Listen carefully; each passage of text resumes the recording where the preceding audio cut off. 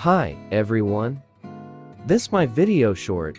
I would like to show you 5 tips to improve listening comprehension American English. 1.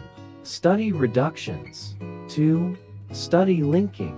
3. Study native speech. 4.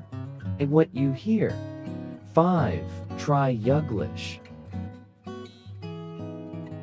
If you want to know more, you can watch video long of my channel.